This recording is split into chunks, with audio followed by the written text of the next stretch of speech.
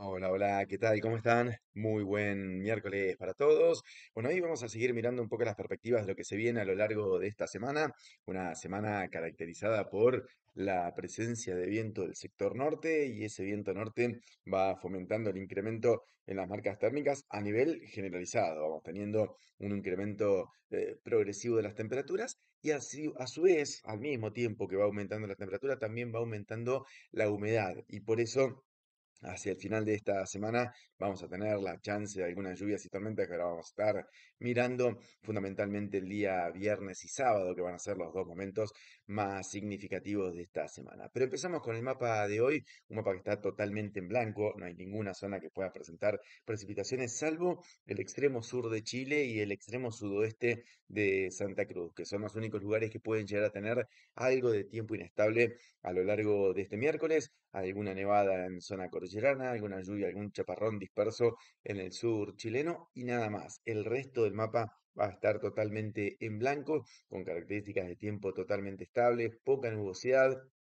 fundamentalmente centro y norte de Argentina, y con el viento justamente del sector norte, lo cual va a ir proporcionando este progresivo incremento de temperatura del que estábamos hablando hace un ratito. Esto también se replica a Uruguay, a Brasil, a Paraguay, a Bolivia, así que estamos hablando de condiciones de tiempo totalmente estables en todo el sur de Sudamérica. Como decíamos, el viento del sector norte favorece el incremento en las temperaturas y por eso de a poquito y de manera paulatina van aumentando los registros térmicos, especialmente en el norte de Argentina, pero después en general todo el país se va notando el incremento en la temperatura. En la parte sur hablamos de valores máximos que van a estar oscilando en el orden de los 14 a 16 grados, una franja central con valores entre 16, 18 y hasta 20 grados, las más bajas ubicadas en la provincia de Buenos Aires, las más altas entre 20 y 22 grados en zonas como por ejemplo Córdoba o San Luis, y si nos vamos un poquitito más al norte, nos vamos a encontrar con temperaturas entre 24, 26 y hasta 28 grados, si tomamos Formosa y Salta como los valores más elevados de todo el norte de Argentina. Sigamos avanzando y vamos a mirar el día jueves, y ahí empieza a aparecer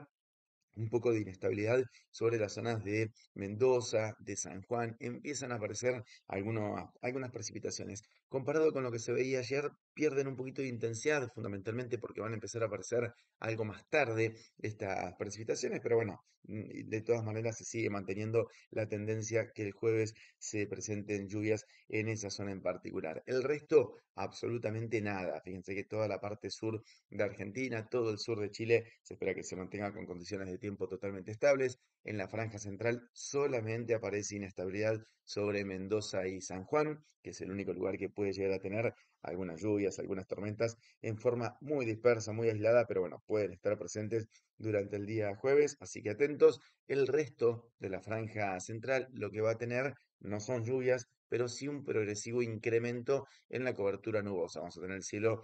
parcial a mayormente nublado, así que a estar atentos. Y en la parte norte, bueno, todavía no llega nada, ni la nubosidad, solo se mantiene el calor, que ahora vamos a ver que las temperaturas van a ser bastante elevadas, pero sin absolutamente nada de tiempo inestable, todo lo contrario, vamos a tener características bien estables sobre el norte argentino. Con respecto a las temperaturas,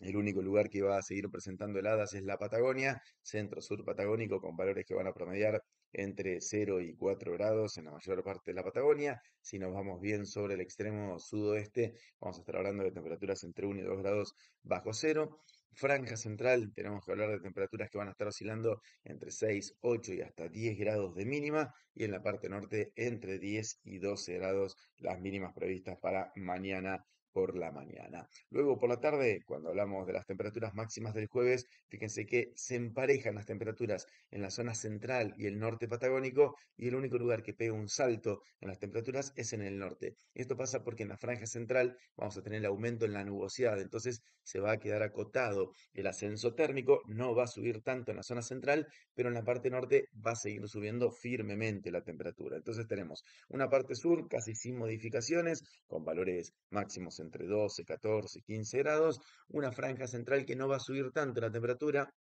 los valores estarán entre 18, 20, 22 grados y una parte norte que pega un salto entre Santiago del Estero, sur de Chaco, hacia el norte. De ahí hacia el norte pasamos a tener valores de 26, 28, 30 y hasta 32 grados, siendo Formosa otra vez la zona con las mayores temperaturas durante el día jueves. Pasemos al viernes y acá una jornada clave, una jornada en la cual empiezan a aparecer lluvias y tormentas sobre el centro del país, fundamentalmente norte de Buenos Aires, sur de Entre Ríos, sur de la provincia de Santa Fe, norte de La Pampa y parte de la provincia de Córdoba, con los acumulados más importantes en Córdoba sobre el extremo sudeste, que es allí donde se pueden dar los fenómenos más significativos, y después va a quedar un remanente sobre San Luis, La Pampa, San Juan, parte de La Rioja, con la chance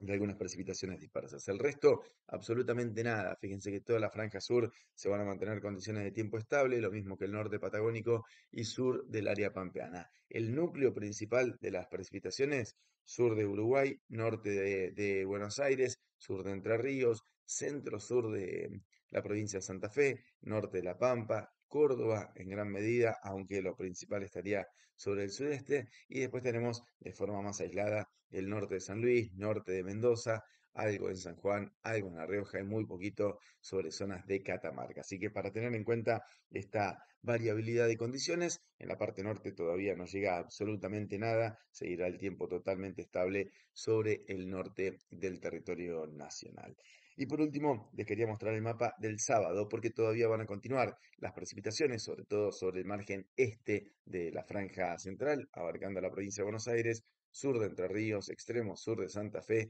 y ya algún evento muy puntual, muy aislado sobre el extremo sur de la provincia de Córdoba, muy, muy puntual, insisto, nada demasiado significativo, pero bueno, lo marcamos porque tenemos la chance de algún fenómeno en forma aislada. Con este panorama me despido, nos reencontramos más tarde para seguir ampliando toda la información. Que tengan una excelente jornada.